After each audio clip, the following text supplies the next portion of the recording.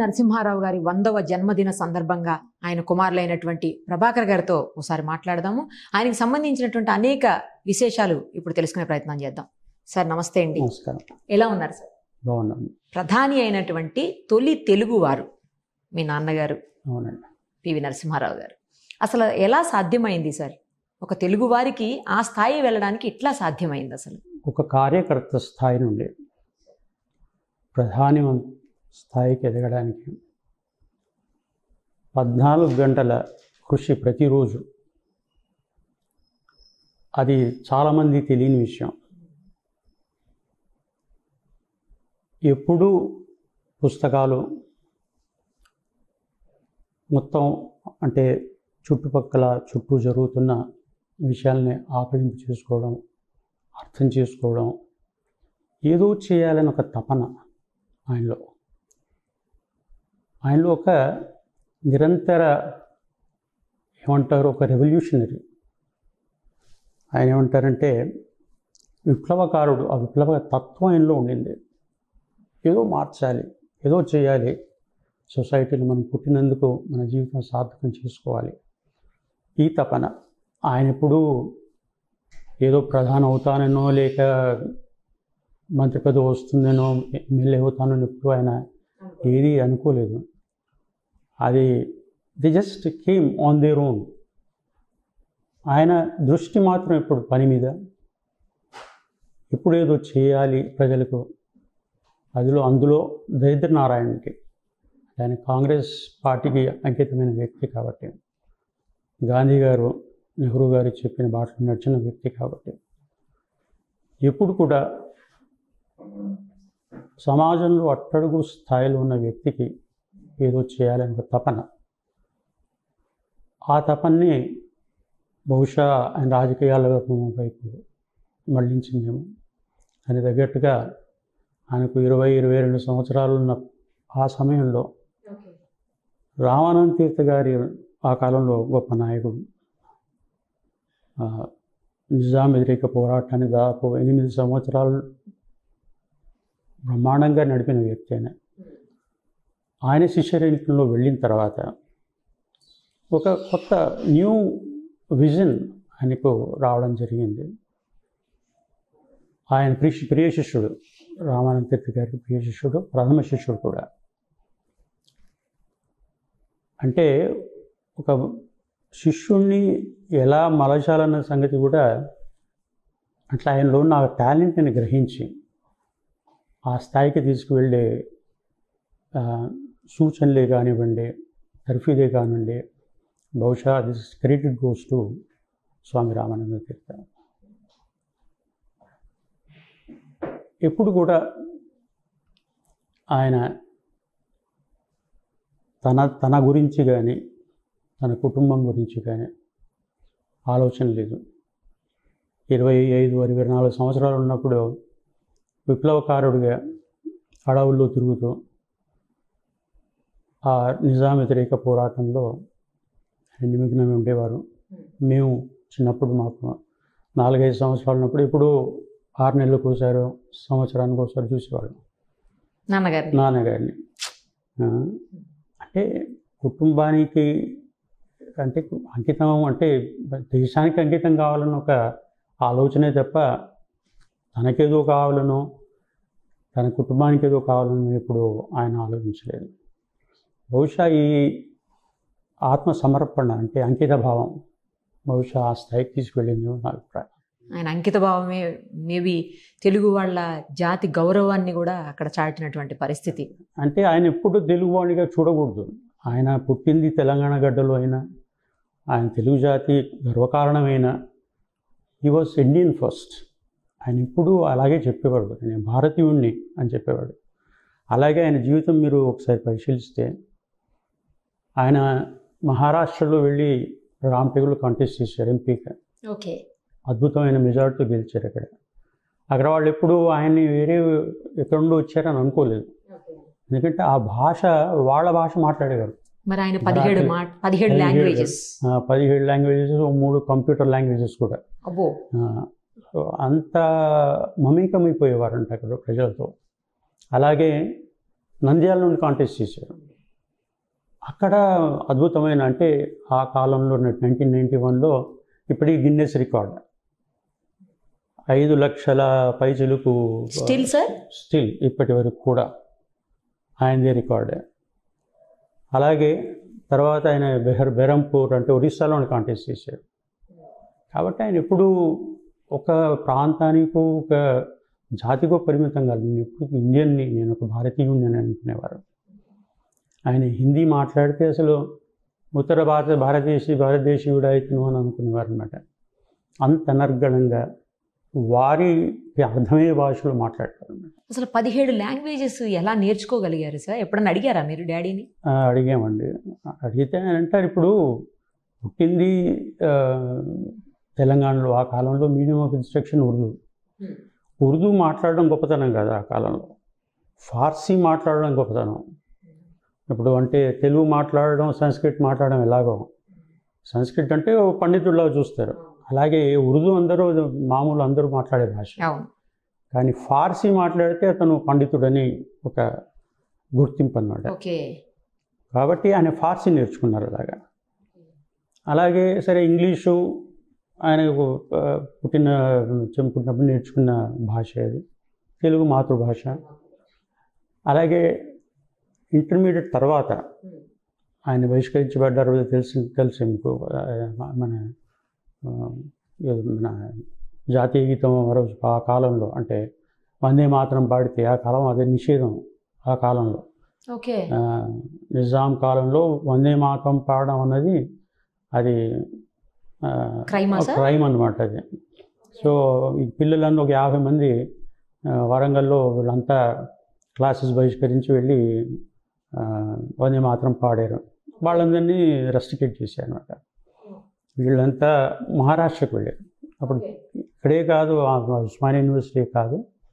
యావత్ భారతంలో ఇక్కడ ఏ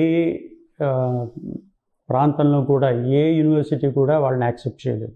అంటే ఒక చోట బహిష్కరిస్తే మిగతా ప్లేసెస్లో యాక్సెప్ట్ చేయకూడదని వాళ్ళు ఉస్మానియా యూనివర్సిటీ వాళ్ళు అలాంటి రిస్ట్రిక్షన్స్ పెట్టారనమాట కానీ ఆ, మహారాష్ట్రలో నాగ్పూర్ యూనివర్సిటీ వాళ్ళు తీసుకున్నారు అక్కడ. కాబట్టి మహారాష్ట్రలో దాదాపు ఏడెనిమిది సంవత్సరాలు ఉన్నారు. దాంతో మరాఠీ భాష అనర్గళంగా మాట్లాడడం అందులో పాండిత్యం సంపాదించడం జరిగింది అనమాట అక్కడే ఆయన బీఎస్సీ చేశారు. దాని తర్వాత ఎల్ఎల్బి కూడా అక్కడే చేశారు. చాలామంది తెలియని విషయం ఏంటంటే ఆయన బీఎస్సీ ఆస్ట్రానమీ ఆయన ఎప్పుడు అంటే ఆయన హాస్పిటల్లో ఉన్నప్పుడు అప్పుడప్పుడు చెప్పేవారు అనమాట I strayed in to politics నాకు అసలు పాలిటిక్స్లో వస్తానని నేను ఎప్పుడు అనుకోలేదు. స్వామీజీ ప్రోద్బలం వల్ల నేను వచ్చాను దీంట్లోకి. Left myself I would want to Oxford I would been a professor I would settled as a professor there okay okay that is my aim and that was my dream అని అనేవారు కాబట్టి ఒక ఆక్స్ఫర్డ్లో ప్రొఫెసర్ అయితే అనుకున్నవారు దేశంలో సరే దేశ సేవ చేద్దాం దేశ సేవలో ఇలా స్ట్రే అవుతానని ఆయన కూడా అనుకోలేదు. అది మన అదృష్టం దేశానికి అదృష్టం. ఆయన పాలిటిక్స్లో రావడం రాజకీయాలు వచ్చి ఆ స్థాయికి వెళ్ళి గొప్ప గొప్ప దేశ సేవ చేయడం మనందరి అదృష్టంగానే భావిస్తాం మిగతా లాంగ్వేజెస్ ఎట్లా నేర్చుకున్నారు సార్? అడిగారు అలాగే ఇప్పుడు ఆయనకి భాషల పట్ల చాలా ఇష్టం అనమాట ఓకే. స్పానిష్ ఫ్రెంచ్ ఇంగ్లీషు మన రష్యన్ ఇలా బుక్స్ తెప్పించుకునేవారు. తర్వాత సిడీస్ అంటే ఆ కాలంలో క్యాసెట్స్ తెప్పించుకునేవారు. తెప్పించుకొని గ్రామరు అదంతా నేర్చుకొని ఒక పద్ధతి ప్రకారం నేర్చుకునేవారు. ఈవెన్ కంప్యూటర్ లాంగ్వేజ్ దానికి పెద్ద ఆ, అప్పట్లో ఉంది. అంతగా లేవేమో సార్ కంప్యూటర్స్ కంప్యూటర్ లేనే లేవు. దానికి ఒక నేపథ్యం ఉంది. చాలామంది తెలియని నేపథ్యం ఏంటంటే ఎనభై నాలుగులో అప్పుడే రాజీవ్ గాంధీ గారు ప్రధాని అయ్యారు. ఈయన్ని హెచ్ఆర్డి మినిస్టర్గా తీసుకున్నారు. ప్ర- ప్రథమంగా ఆయన. Was the first minister to hold HRD portfolio అయితే ఒకసారి రాజీవ్ గాంధీ గారు ఎవరితో నుంచి చెప్తున్నాడు కొత్త యంగ్స్టర్ కదండి. ఆయనకి టెక్నాలజీ టెక్నాలజీ సేవీ పర్సన్ నేను టెక్నాలజీస్ ఇంటర్నేషనల్ టెక్నాలజీస్ మన ఇండియా ఇండియాలో తీసుకొద్దాం అనుకుంటున్నాను. కానీ ఈ ఓల్డ్ గార్డ్ పెద్దవాళ్ళంతా మరి కంప్యూటర్ అంటే తెలుసా వాళ్ళకి? అని ఎవరితో చెప్తున్నారు అన్నమాట పివి గారు అక్కడే పక్కనే సోఫాలో కూర్చున్నారు. ఇయర్ షార్ట్ రేంజ్లో ఉన్నారన్నమాట. విన్నారు ఆయన ఓవర్ హర్డ్ జస్ట్ కాన్వర్సేషన్. ఆ కాలంలో మేము అంటే మా కంపెనీలో కంప్యూటర్ టెక్నాలజీ వైపు మేము కొంత వర్క్ చేస్తున్నాం. అయితే అప్పుడు we're in two minds whether we should go for technology mean computer technology or television technology. Okay. అయితే ఓసారి ఆ మధ్యలో ఒకసారి ఆయన గారికి ఇక్కడికి వచ్చినప్పుడు ఆయనతో అన్నాను ఇలా అనుకుంటున్నాం మేము. అయితే కంప్యూటర్ టెక్నాలజీ వైపున లేక మన టీవీ టెక్నాలజీ వైపున వెళదాం అనుకుంటున్నాము అని. అయితే అది జ్ఞాపకం ఉండింది. ఈ రాజీవ్ గాంధీ దగ్గర రాజుగారి వారి దగ్గర ఈ సంభాషణ విన్న తర్వాత ఆ రోజు సాయంత్రం నాకు ఫోన్ చేశాడు. నువ్వేదో కంప్యూటర్ టెక్నాలజీ గురించి మాట్లాడావు కదా నేను వచ్చినప్పుడు నీ దగ్గర ఏమైనా శాంపుల్స్ అవి ఉన్నాయా అని అడిగాను. అంటే ఉన్నాయి నాయన నువ్వు కావాలంటే పంపిస్తాను మీకు అన్నాను. అలాగే కాక నాకు నాకు చెప్పేవాళ్ళు కూడా కావాలి నాకు టీచ్ చేసేవాళ్ళు ఒక ట్యూటర్ కూడా కావాలి అన్నాను. ఫస్ట్ టైం అప్పుడప్పుడే ఇంకా కంప్యూటర్ మన దేశంలో వస్తున్నాయి. అయితే ఇమీడియట్గా ఇక్కడ నుండి ఒక కంప్యూటర్ని పంపించాను. పంపించిన తర్వాత ఢిల్లీలో మా ఫ్రెండ్ అవుతున్నాడు ఆయన చెప్పాను వెళ్ళి కొంచెం ఏదో ట్యూటోరియల్స్ లాగా ఐదారు సెషన్స్ పీవీ గారితో కలిగి గడిపి రండి. ఓకే. ఈ may like to pick up the basics అని. బహుశా ఐదారు సార్లు వెళ్ళాడేమో. తర్వాత ఆయన అన్నాడు నువ్వు రావాల్సిన అవసరం లేదు బాబు. నాకు కొన్ని పుస్తకాలు తెచ్చి ఇవ్వండి సరిపోతుంది. ఆరు నెలల తర్వాత అంటే పొద్దున సాయంత్రం అదే పనిగా ఆ పుస్తకాలు చదివి ఆరు నెలల తర్వాత పివి గారు నాకు చెప్పారు అనమాట నవ్ ఐఎమ్ వెరీ ప్రొఫెషనెంట్ అని నాకు I'm very comfortable with computers అని ఆయన రూమ్లోకి వెళితే మీరు ఆశ్చర్యపోతారు. ఎనభై నాలుగులో ఉన్న ప్రిమిటివ్ కంప్యూటర్ నుండి లేటెస్ట్ ఆయన టూ థౌజండ్ ఫోర్లో చనిపోయారు. ఆ సమయంలో వచ్చిన కంప్యూటర్లు అన్నీ మీకు కనబడతాయి. అంటే అన్ని కొత్త లేటెస్ట్ కంప్యూటర్ ఏది వచ్చినా ఆయన రూమ్లో ఉండాల్సిందే. అంటే అంత టెక్నాలజీని కూడా టెక్నాలజీ సేవీ అయిపోయారు ఆయన. రాజీవ్ గాంధీ గారు కూడా ఆశ్చర్యపోయేవాడు ఆ కాలంలో. ఏమిటి ఇంత ఎట్లా నేర్చుకున్నారు మీరు అని అంటే శ్రద్ధావాన్ లభతే జ్ఞానం అని ఎప్పుడు చెప్తుండేవారు. చదవండి నేర్చుకోండి. It's nothing you can't achieve ఏ సమయంలోనైనా అది నేర్చుకుని ఆ ఆ జిజ్ఞాస వదలొద్దు. You should continuously learn new things అని చెప్పేవారు. నేను ఇంకో ఆశ్చర్యకరమైన విషయం చెబుతాను. టూ థౌజండ్ టూలో ఆయనకి వేళ్ళలో ప్రాబ్లం వచ్చిందండి ఆయనకి స్టిఫ్ స్టిఫ్నెస్ ఈ రుమటాయిడ్ ప్రాబ్లమ్ ఏదో మరి ఆ డాక్టర్ లేదో దానివల్ల ఈ వేళ్ళు ఇలా వంచడం కష్టంగా వేయాలి అనమాట మూమెంట్ కొంచెం స్టిఫ్. అయిపోయింది అనమాట అయితే డాక్టర్లు ఏమన్నారంటే ఒక సాఫ్ట్ బాల్ ఇచ్చారనమాట ఇది రోజు ఇలా ప్రెస్ చేయండి ప్రెస్ చేస్తే మీకు చేతికి ఎక్సర్సైజ్ అవుతుంది. దాంతో ఒక వన్ మంత్ తర్వాత సరిపోతుందేమో అని ఆ సాఫ్ట్ బాల్ ఇచ్చారు. ఆ సాఫ్ట్ బాల్ తీసుకొని సరే రోజు యాభై మంది నూరు మంది వస్తూనే ఉంటారు కదండి కలవడానికి వాళ్ళందరి ముందు ఇది ప్రెస్ చేయడం కొంచెం ఇబ్బందిగా అనిపించింది ఆయనకి. మూడో రోజు ఆయన ప్రైవేట్ సెక్రటరీని పిలిచి చెప్పాడు ఈ సాఫ్ట్ బాల్ ఇదంతా ప్రెస్ చేయడం కొంచెం నాకు ఎంబారసింగ్గా ఉంది. ఒక ఇప్పుడు ఈ క్యాషువల్ లాంటిది తీసుకురా నాకు. అంటే అతను వెళ్ళి ఓ క్యాష్ తెచ్చి తెచ్చిచ్చారనమాట పొద్దున సాయంత్రం అదే పని అంటే కొంచెం మ్యూజిక్ సెన్స్ కూడా ఉండింది ఆయనకి. హిందుస్థానీ అది నేర్చుకున్నారు ఆయన.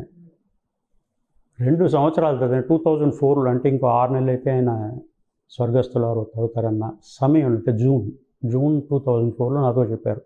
Now I'm ready for a concert అని. అంటే అంత ప్రావీణ్యం సంపాదించారు.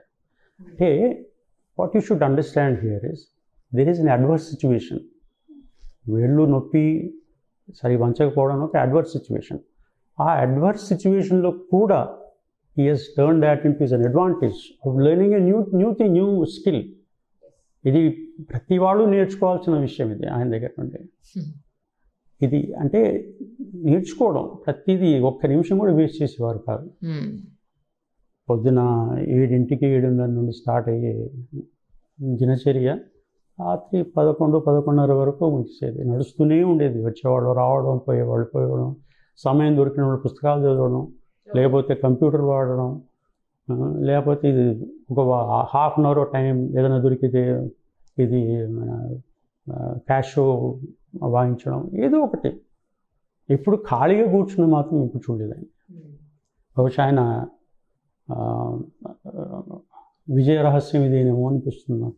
ఇండియన్ ఎకానమీని పీవీ గారు రాకముందు పీవీ గారు వచ్చాక అని ఇలా చూస్తారు. ఇండియన్ ఎకానమీనే మార్చేసినటువంటి శక్తివంతులుగా చెప్తారు ఆయన్ను ఎట్లా సాధ్యమైందండి ఆయనకు? Making use of an adverse situation బహుశా అడ్వర్స్ సిచ్యువేషన్ అవసరమైందేమో ఆ కాలంలో అట్లాంటిది. ఇప్పుడు మామూలు సమయంలో మీరు చేయండి అంటే చేయరు. రెసిస్టెన్స్ ఉంటుంది. ఇప్పుడు మీరు ఇది చేయకపోతే మీరు చచ్చిపోతారా నాయన అంటే తప్పకుండా ఆ పని చేస్తారు. అట్- అట్లాంటి సిచ్యువేషన్ అది. It was a crisis unprecedented అప్పటి వరకు అట్లాంటి సిచ్యువేషన్ మన దేశంలో ఎప్పుడు రాలేదు. అంటే it was basically balance of payment situation అంతకుముందు తీసుకున్న లోన్లు అప్పుడు కట్టాల్సిన సమయం అది. కట్టకపోతే it will default country will default country default అయితే ఏమవుతుంది అనే క్వశ్చన్ రావచ్చు. అదో మళ్ళీ బనానా రిపబ్లిక్ అవుతుంది మనకి మళ్ళీ ఎవరు లోన్ ఇవ్వరు దాంతో ఇంకా ఎకానమీ పూర్తిగా పతనం అవుతుంది. కాబట్టి ఆ సమయంలో అప్పుడున్న ఎక్స్పర్ట్స్ అందరూ కలిసి కొన్ని ఈ నిబంధనలు ఇలా ఇలా చేస్తే బాగుంటుందేమో అని కొన్ని సూచనలు ఇచ్చారు. దాని మీద ఆయన దాదాపు అంతకు ముందే అంటే ప్రధానమంత్రి కాకముందే రాజీవ్ గాంధీ గారి సమయంలోనే కొంత ఎకానమీ మీద ఆయన ఎక్సర్సైజ్ చేశారు. ఓకే. అంటే ఆయన అవగాహన ఉండింది. అంటే ఆయన ప్రధానమంత్రి అవుతాను అనుకోలేదు. కానీ ఏదో ఆ ఇంట్రెస్ట్ బట్టి ఆయన చదువుకున్నారు ఆయన. At I did his homework అయితే ఆయన ప్రధానమంత్రిగా రాగానే ఇప్పుడు అలెగ్జాండర్ అని ఉండేవారు. ప్రైమ్ మినిస్టర్ ఇందిరాగాంధీ కాలంలో ఆయన ప్రిన్సిపల్ సెక్రటరీగా ఉండేవారు. ఆయన అడ్వైజర్గా ఉండేవారు ఫాదర్. ఆయన అడ్వైస్ తీసుకునేవారు. ఆయన అడిగారు మంచి ఎకానమిస్ట్ కావాలి. I want a specialist not is regular politicians who can implement a programme okay అట్లాంటి వాడు నాకు కావాలి. అంటే మరి ఆ, మన్మోహన్ సింగ్ గారు ఉన్నారు. మరి మీరు ట్రై చేయగలరా? మంచి పేరున్నవారు తర్వాత సింపుల్ మ్యాన్. బాగా డెడికేషన్ ఎకానమీ పట్ల ఉన్న మనిషి. కాబట్టి ఆయన మీకు పంపిస్తాను. మీరు మాట్లాడండి ఆయనతో. మాట్లాడితే మీకు నచ్చితే ఆయన్ని ఫైనాన్స్ మినిస్టర్గా చేయండి. ఆయన ఎప్పుడు అసలు ఆయన కూడా రిటైర్డ్ మూడ్లో ఉన్నాడు. ఆయన్ని పిలిపించి మీకు ఈ ఈ బాధ్యత మీకు అప్పగిస్తున్నాను. ఇది మీ విషయం అంటే ఆయన షరతులు పెట్టాడు నేను చేస్తాను కానీ నా విషయంలో ఈ ఫైనాన్స్ డిపార్ట్మెంట్లో ఎవరు జోక్యం చేసు చేసుకోకూడదు. ఓకే. ఈ పొలిటికల్ నాకు తెలీదు. అంటే ఈ రెండు విషయాలు నాకు వదిలేసాయి. ఈ నేను కానీ మిగతా వాళ్ళు ఎవరు కానీ ఫైనాన్స్ డిపార్ట్మెంట్లో ఎవరు దాంట్లో జోక్యం చేసుకోరు. రెండవది పొలిటికల్గా మీరు ఏం చేయాల్సింది ఏమీ ఉండదు. ఓకే. మరి పూర్తిగా కాపాడే బాధ్యత నాది. అని ఆ అష్యూరెన్స్ ఇచ్చిన తర్వాత ఆయన ఆ అసైన్మెంట్ తీసుకోవడం జరిగింది. ఓకే. అప్పుడున్న పరిస్థితుల్లో ఎట్లా ఉండిందనంటే ఎకానమీ వాజ్ ఇన్ షాంబుల్స్ అప్పటికి సోషల్ స్ట్రక్చర్ కూడా సోషల్ సిచ్యువేషన్ కూడా బాగాలేకుండింది. ఒకటి మండల్ సిచ్యువేషన్ అని ఒక పక్క మస్జిద్ అది బాబ్రీ మస్జిద్ ఇష్యూ ఒకటి పెద్దగా నడుస్తుంది ఇప్పుడు రథయాత్రలని. అది మొత్తం ఒక కన్ఫ్యూజ్డ్ స్టేట్ ఆఫ్ సిచ్యువేషన్లో ఉండే దేశం. ఆ సమయంలో ఆయన చేసిన గొప్ప విషయం ఏంటంటే దృష్టి మరల్చడం. ఈ మండల్ మస్జిద్ ఇష్యూస్ నుండి ఎకానమీ వైపు ఫోకస్ పెట్టించి దృష్టి మరల్చడం అనేది it's it's greatest achievement P కడితే ప్రయారిటీస్ ఎకానమీ ఎకానమీ బాగుంటే మనం బాగుంటాము అని ఆ ఫోకస్ చేంజ్ చేయడం అన్నది ఆయన సాధించిన గొప్ప విజయాల్లో ఒకటి. అప్పుడు మొత్తం అంటే ఎట్లా ఉండిందనంటే ఒక లైసెన్స్ లేనిది ఏమీ జరగదు. లైసెన్స్ రాజని ఆ కాలంలో ఒక చిన్న పరిశ్రమ పెట్టాలంటే మేము ప్రజ మేము వీఆర్ ఫ్రమ్ ఇండస్ట్రీ కాబట్టి చెబుతున్నాను ఆ కాలంలో ఎలా ఉండింది తర్వాత ఎలా మారింది అని సంగతి చెప్తున్నాను. చిన్న లైసెన్స్ కోసం తిరిగి తిరిగి కాళ్ళు ఎరిగేట్టుగా అప్పటికి నేను మన ఫారెన్ మినిస్టర్ కొడుకుని అప్పటికి నేను వెళితే ఎవరు ఇచ్చేవాళ్ళు కాదు. నేను అప్లై చేసుకున్న లైసెన్స్ లేని మీరు ఏది ప్రొడ్యూస్ చేయడానికి వీల్లేదు. ఆ లైసెన్స్ కోసం ఆరు నెలలు ఎనిమిది నెలలు తిరిగి వెయిట్ చేసి వాళ్ళు వాళ్ళ దయా దాక్షిణ్యాలు ఉంటే సరే మీరు చేసుకోండి అంటే చేసేవాళ్ళు లేదు అని అంటే మానేసేవాళ్ళు. అలాంటి సిచ్యువేషన్ అది మొత్తం ఈ లైసెన్స్ రాజు వేస్ట్ అవసరం. డబ్బు వాళ్ళది చేసేది వాళ్ళు. వాళ్ళు their contributing their contributing wealth of the country వాళ్ళు ఎందుకు మీరు ఇబ్బంది పెడతారు? అని ఆ డీజీటీడీ అని ఒకటి ఉండేది. Director general of trade and development అని. అది దాన్ని పూర్తిగా అబాలిష్ చేశారు. అలాగే ఫ్రీ ఎకానమీ. మీ ఇష్టం మీ ఎక్స్పాండ్ చేసుకుంటారా చేసుకోండి మీ కంపెనీని ఓకే. తర్వాత గ్లోబలైజేషన్. మీరు అప్పటికి ఎట్లా అంటే బయట నుండి ఏది లోపలికి ఇండియాకి వచ్చేది ప్రసక్తి లేదు unless you have a licence మీరు మీరు ప్రొడ్యూస్ చేసిన బయటికి పంపడానికి ఆంక్షలు. ఇదంతా కాదు గ్లోబలైజేషన్ సో ఇప్పుడు ఇప్పుడు ట్వంటీ ఫస్ట్ సెంచరీ ఇప్పుడు వెళుతున్నాం మనం. ఇప్పుడు ఇంకా ఎలాంటి ఆంక్షలు అవసరం లేదు మనకి అని గ్లోబలైజేషన్ అలాగే ప్రైవేటైజేషన్. ప్రైవేటైజేషన్ అంటే తీసుకుపోయి ప్రైవేట్ ఉన్న ఆస్తులన్నింటినీ లేక పిఎస్యుల్ని ప్రైవేటైజేషన్ కాదు. ప్రైవేట్ ఫండ్స్ని ఇండస్ట్రీలోకి తీసుకురావడం. అది లేకుండేది అంతకుముందు ఇప్పుడు ఫర్ ఎగ్జాంపుల్ ఒక పవర్ ప్రాజెక్ట్ పెట్టాలనుకున్నాను అంతకుముందు power project was done only by the government. వాడు డబ్బులు అదే డ కిట్టి నుండి వెళ్ళాలి గవర్నమెంట్ కిట్టి నుండి. అయితే పబ్లిక్ సెక్టర్ అంటే డెవలప్మెంట్ వర్క్కి ఆ ఆ డబ్బే వెళ్ళాలి.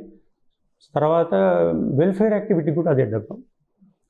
అని కొత్తగా ఆలోచన ఏమిటంటే ఈ పెద్ద పెద్ద కంపెనీలు ఏవైతే ఉన్నాయో అంటే ఇన్ఫ్రాస్ట్రక్చర్ ప్రాజెక్ట్స్ వాటి మనం ప్రైవేట్ డబ్బు తీసుకొస్తాయి ఎఫ్డిఐసీ కానివ్వండి ప్రైవేట్ కంపెనీని మనం డబ్బులు ఇవ్వగలిగితే ఆ డబ్బును మనం సంక్షేమ పథకాల కింద మనం వాడుకోవచ్చు okay.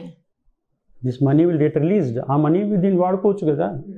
అని ఈ global privatisation globalisation liberalisation programme తీసుకొచ్చారు. మీకు తెలుసో తెలియదు కానీ రూరల్ డెవలప్మెంట్ ఆ కాలం అంటే ఆయన చాలా ఇష్టమైన సబ్జెక్ట్ అది. అంటే మొత్తం ఎకానమీ బాగుండాలంటే మన గ్రామాలు బాగుండాలి గ్రామ వ్యవస్థ బాగుండాలి. గ్రామాల్లో ఆర్థిక స్థితులు బాగుండాలి. కాబట్టి రూరల్ డెవలప్మెంట్ బాగా జరగాలి. అదే నా ఆలోచన. ఏడు వేలు ఏడు వేల కోట్ల రూపాయలు అంతకుముందు ఎలొకేషన్ ఉండేది. మీరు వచ్చిన తర్వాత అది ముప్పై వేల కోట్లు పెంచారు ఆయన. అంటే four times almost four four and half times rural డెవలప్మెంట్కి ఈ డబ్బును అలొకేట్ చేయగలిగాడు ఎలా చేయగలిగారు? Because is allowed private to take care of the private money to take care of the infrastructure projects ఆ మనీ రిలీజ్ అయింది కాబట్టి ఈ రూరల్ డెవలప్మెంట్ చేయగలిగారు. ఇలా ప్రతి విషయంలో ఎవ్రీథింగ్ వాజ్ లిబరలైజ్డ్ అంతకుముందు మీకు కారు కావాలంటే ఒకటే కారు అంబాసిడరో లేక ఫియర్ కారు. ఓ పది కార్లు వాళ్ళకి లైసెన్సులు ఇచ్చి మీరు మీ ఇష్టం ఎన్నైనా మీరు ప్రొడ్యూస్ చేయండి. ఎంత వెరైటీ అనేది తీసుకురండి. పెద్ద కన్జ్యూమర్ హ్యావ్ ద బెనిఫిట్ అని లిబరలైజేషన్ తీసుకొచ్చారు. అంతకుముందు ఎలా ఉండేదనంటే Indian Airlines was only airlines. Airlines liberalise చేశారు. ఓ నాలుగైదు ఎయిర్లైన్ కంపెనీస్ వచ్చాయి. దాని తర్వాత ఎన్నో వచ్చాయి అనుకోండి అనేకం వచ్చాయి. అలాగే ఈరోజు మనం మాట్లాడుతున్న హైవేస్ దాని తర్వాత వచ్చిన అటల్ బిహారీ వాజ్పేయి గారు గోల్డెన్ క్వార్టర్ లీటర్లు అని తెచ్చారు తెలిసిందే. కానీ దాని పునాదులు వేసిన పీవీ గారు ఈ టోల్ గేట్స్ అని అంటే పీపీపీ మోడల్ పబ్లిక్ తెచ్చింది. Private public model. తెచ్చింది వారే ఫస్ట్ టోల్ గేట్ ఆయన హయాంలోనే ఇంప్లిమెంట్ చేయడం జరిగింది. రాజీవ్ గాంధీ గారి మరణం తర్వాత సోనియా గాంధీ గారికి అవకాశం ఉన్నప్పటికీ కూడా కావాలనే ప్రధానిగా పివి గారిని చేశారని కొంతమంది అంటూ ఉంటారు. ఎందుకనండి? ఎందుకంటే అప్పుడు ఫస్ట్ ఆప్షన్ మీకు తెలిసే ఉంటుంది. రాజీవ్ గాంధీ గా- రాజీవ్ గాంధీ గారు పోయిన తర్వాత it was shock to everybody అది ఎవరు ఎక్స్పెక్ట్ చేసింది కాదు. First option was given to Sonia Gandhi అదే అందరూ కలిసి ఒకటే ముక్తకంఠంతో చెప్పారు మీ అమ్మ మీరు రండి. టేక్ ఓవర్ ద కంట్రీ అని ఆవిడ మనస్థితి actually she has lost her father in law mother in law she lost you know brother in law and she has lost her husband ఆమె మనస్థితి చాలా అంటే she was in the state of depression ఆడంది నేను ఇప్పుడు ఏం చేయలేను. One one one and half year నన్ను ఏం మాట్లాడించకండి. యువర్ ఆల్ కాంపిటెంట్ పీపుల్ మీరు ఎవరు మీరు ఎవరు కావాల్సిన వాళ్ళు అని తెలియకోండి అని చెప్పింది అప్పుడు సీనియర్ మోస్ట్ అప్పుడు ఫాదర్ అసలు కంటెస్ట్ కూడా చేయలేదు ఆ కాలం. అంటే రాజీవ్ గాంధీ గారు ఏమన్నారంటే మీకు వయసు అయిపోయింది కదా మీరు రాజ్యసభలో తీసుకుంటానులేండి. అంటే ఆయన మెల్లిగా పివి గారు పెట్టబెడ చదువుకొని హైదరాబాద్కి రావద్దామన్న ప్లాన్లో ఉన్నారు. సగం పుస్తకాలు హైదరాబాద్కి రావడం కూడా జరిగినాయి ఇంకా ఏమిటి రిటైర్ అయిపోతాను పుస్తకాలు రాసుకుంటానన్న ఆ ఆలోచనలో ఉన్నారు పివి గారు. అప్పుడు ఆ సమయంలో ఈ అన్ఫార్చునేట్ ఇన్సిడెంట్ జరిగింది. అందరిలో సీనియర్ మోస్ట్ పీవీ గారే కాబట్టి అందరూ ఆయన్ని మీరు ప్రెసిడెంట్గా ఉండండి కాంగ్రెస్ ప్రెసిడెంట్గా అంటే మిడ్ ఆఫ్ ఎలక్షన్స్లో జరిగిన ఇది ఇన్సిడెంట్ అది. కాబట్టి ఆ, అప్పుడు కొత్తగా ఇంకొక ఎవరినో ఒక తెలియని వాళ్ళని తీసుకొచ్చే ప్రసక్తి లేదు. ఉన్న వాళ్ళు better face clean face senior face ఈ విరిదే ఉన్నది కాబట్టి ఆయన ప్రధాన ప్రెసిడెంట్గా చేయడం జరిగింది. ఇక దాని తర్వాత మంచి రిజల్ట్స్ రావడం వల్ల ఆయన ప్రధానమంత్రిగా ఆయన కంటిన్యూ చేయడం కూడా జరిగింది అనమాట సో సోనియా గాంధీ గారికి ఫస్ట్ ప్రిఫరెన్స్ ఉండింది. ఆవిడ she become Uh, the prime minister of that time. Kani Ayuda, uh, she refused. She was not prepared for